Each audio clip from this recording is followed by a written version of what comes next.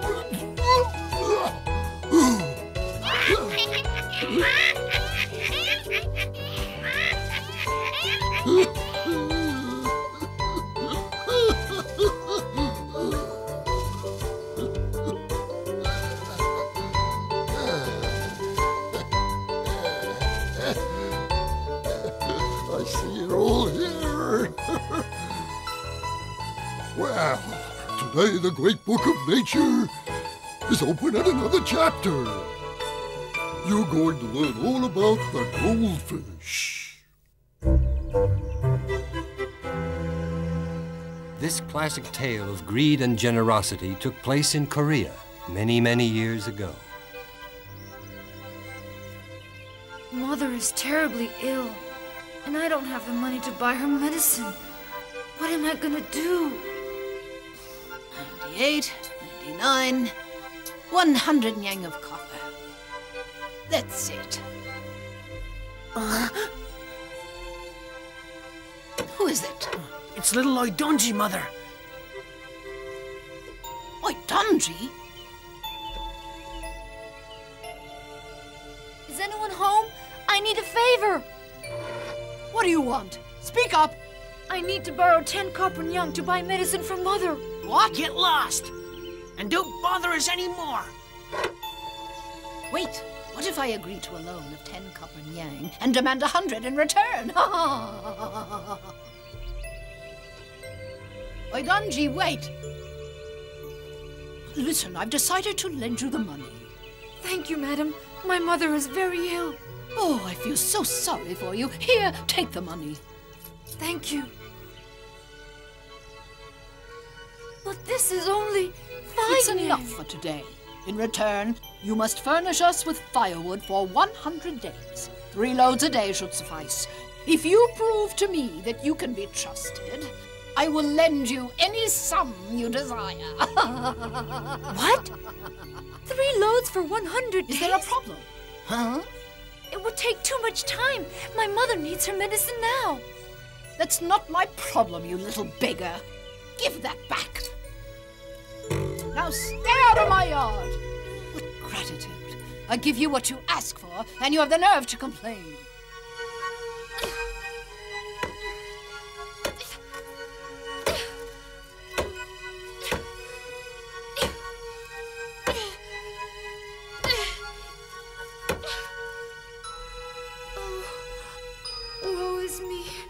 Oh, so tired, but I must find the strength to go on and help my poor sick mother.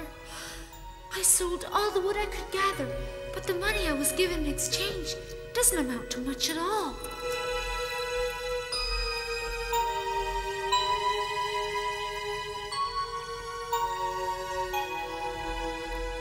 What am I gonna do with so little? I will never be able to help my poor mother.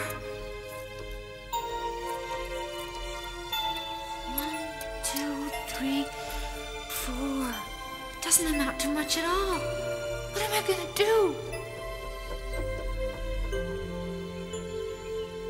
I've got an idea.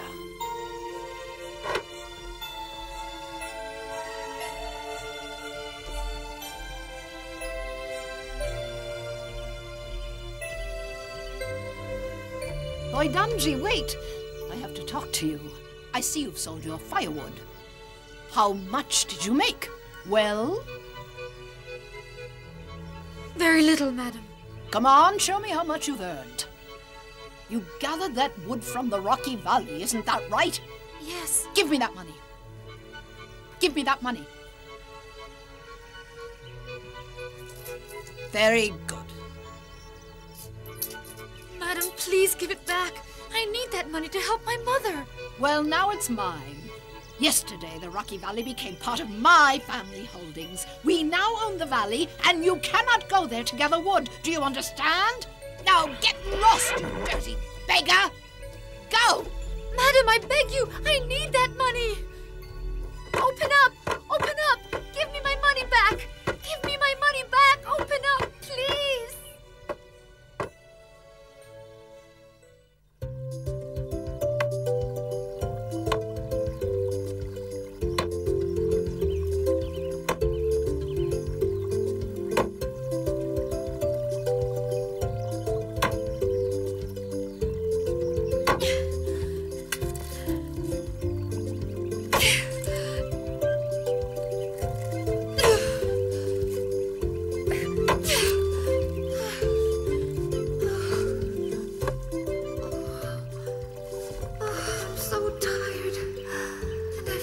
Dizzy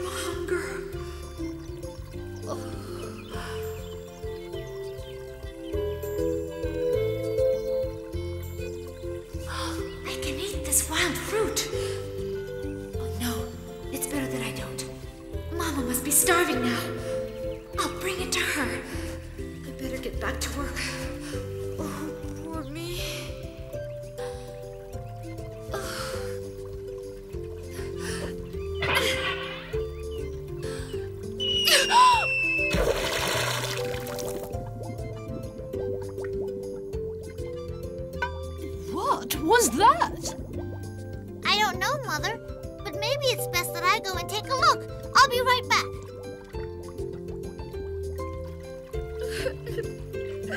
Oh, poor me.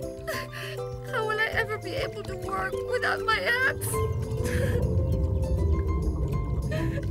Hey, you! Why are you crying? What could have happened that's so terrible? I'm in lots and lots of trouble.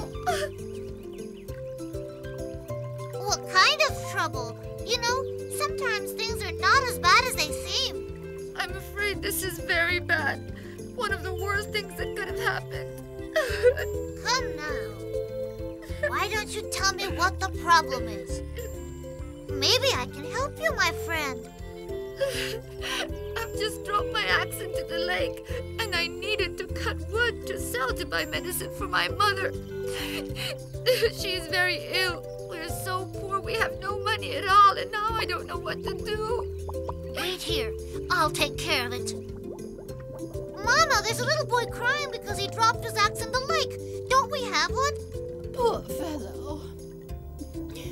And why does he need an axe? To earn money for his sick mother. Well, if that's true, we have just what he's looking for. You can give him our golden axe. Our golden axe? Yes, of course. Bring it to him. Hurry up.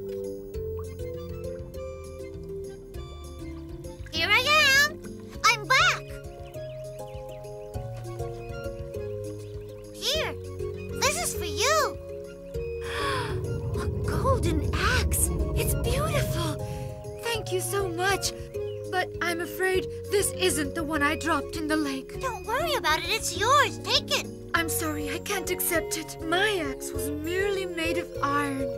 All right, then. I understand. I'll go down again and try and find your axe. Wait here. Thank you.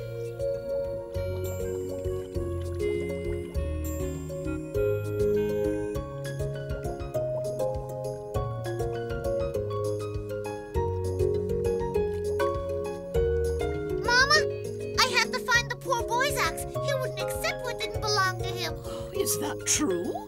Very well. Since this little fellow is so honest, return to him with the golden axe as a gift. Yes, Mother. Here. Is this one your axe? You found it. look it over, make sure it's yours. Yes, this is my axe for sure. Great. And now I want you to take this one too as a gift. You. I can't accept it. That axe is made of gold. It's a gift from my mother to you as a reward for your honesty. There, take it.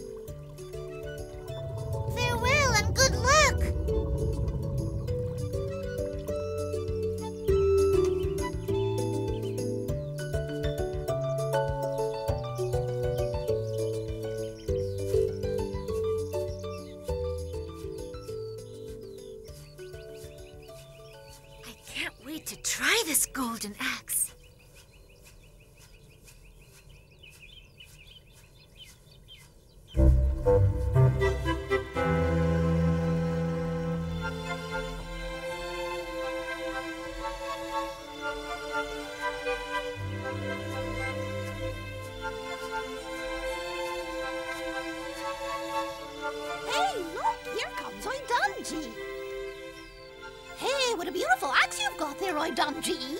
Thanks. Mama! Mama, look! What's wrong? Look, I have a gold axe. A goldfish gave it to me as a gift. It's absolutely wonderful. I'm going to try it out right away.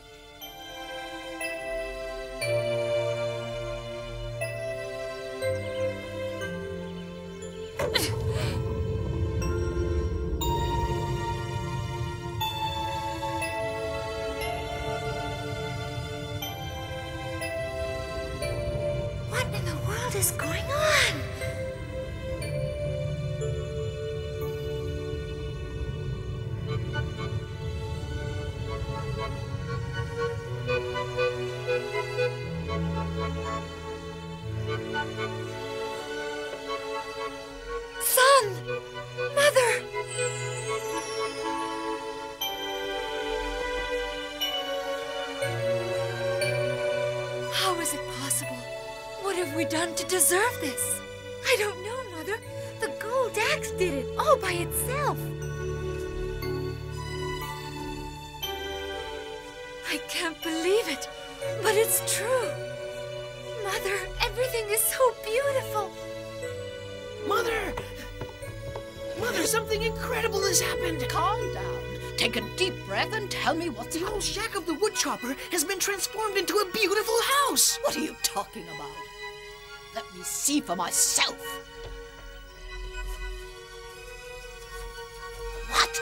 I can't believe it.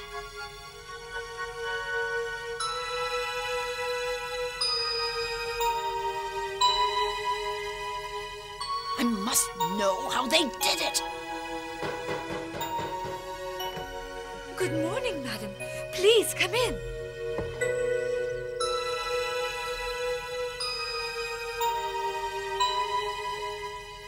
Can I do for you, madam? How is it possible that your shack has been transformed into a beautiful house? How is that possible? My son lost his axe in the lake, and a goldfish gave him a magical golden axe as a gift. A magical golden axe?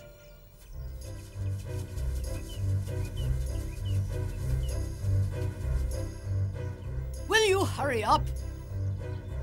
I'm coming! Give me a second!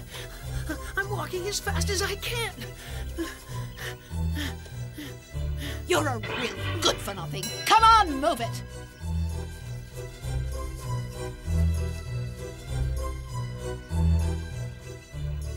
This spot is perfect. Change your clothes. Hurry up. In this way, the goldfish will think you're a poor little woodchopper. I'm cold. Can't I put something else on? Shh! Shut up. It'll hear you. Start chopping some wood, then drop your axe in the lake. Do you understand? Oh, stop! Of course I understand. You can get started. There's no one around.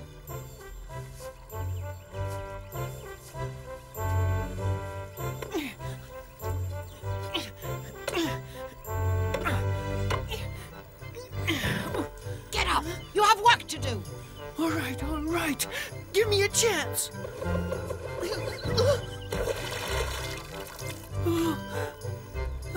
Sit down. Look desperate. Start crying. Oh, poor me.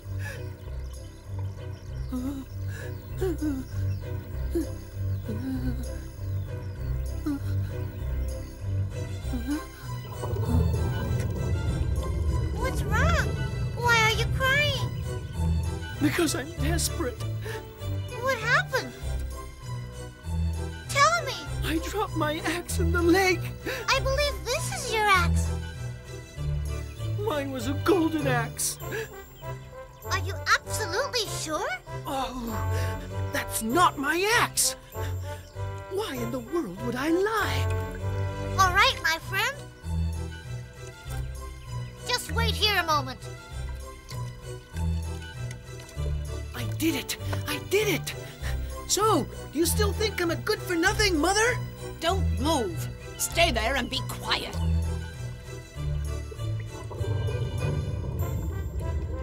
Is this your axe? Yes, let me have it. Yes, yes, it's mine! Hooray! Where are you going? Stop! A solid gold axe! It's all mine! Stop! Give me that axe! Give it to me right now! It's mine! The goldfish Stop! gave it Give to me that axe right this minute! It's mine! All Give it to me! Give it to me! It's all mine! Give me that! It's mine! It's real gold. What a shame it's not bigger and heavier. Oh, I wish it were much, much bigger.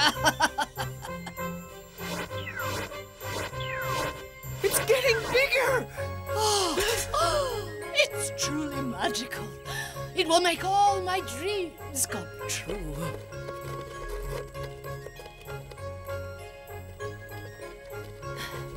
I want an enormous house made of marble with 99 rooms.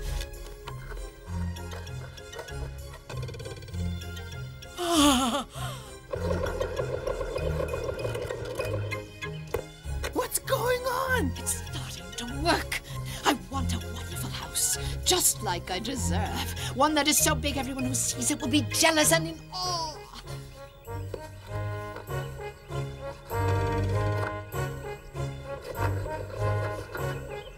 It's starting to work. All by itself.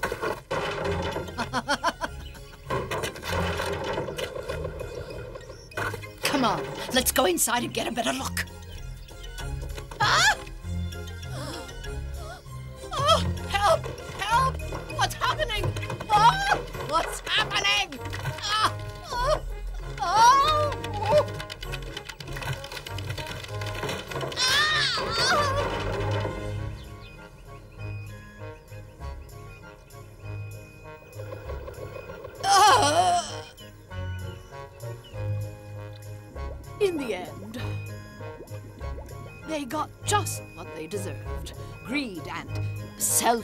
In the long run only brings one to disaster.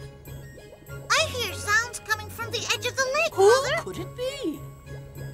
I have no idea. Let me take a look. Be careful.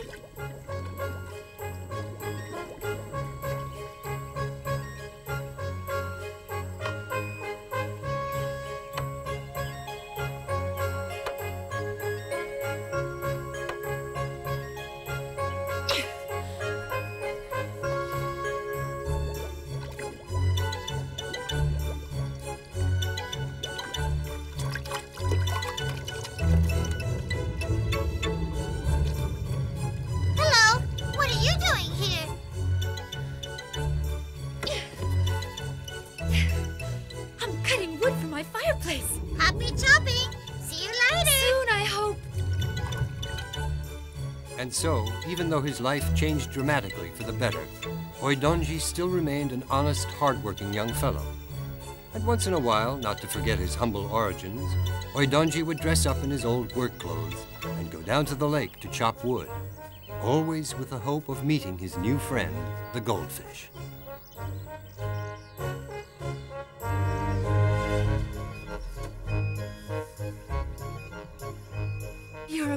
Honest boy, Oidonji. And I'm very, very proud of you.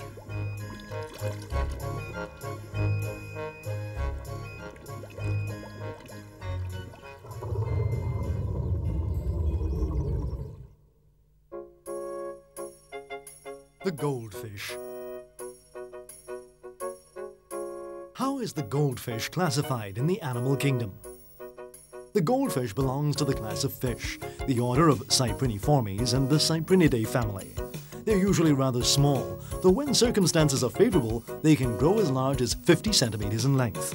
In spite of their name, they can be white or black or speckled. How many species are there, and where do they live? Goldfish belong to one single species, Carassius auratus, from which many different varieties have been bred, some with long, graceful, flowing fins and tails. The Carassius auratus originated in Asia and was first domesticated in China around the 3rd century AD. How do they live? They're sturdy animals that live happily both in aquariums and in ponds. They live in groups and in the cold weather, when the temperature of the water drops below 10 degrees Celsius, they go into a sort of hibernation. How does it move? Like all fish, by swimming.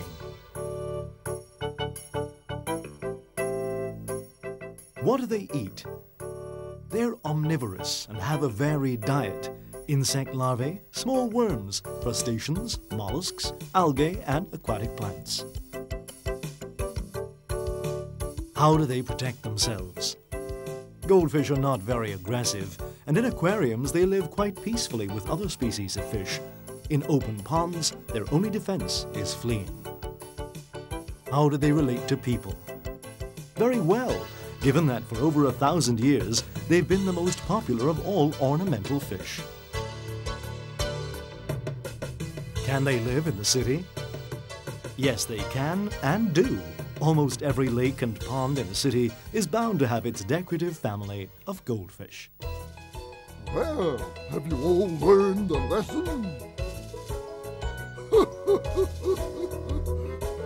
the moral of the story is that sooner or later those who are greedy are always punished. oh, look who's coming!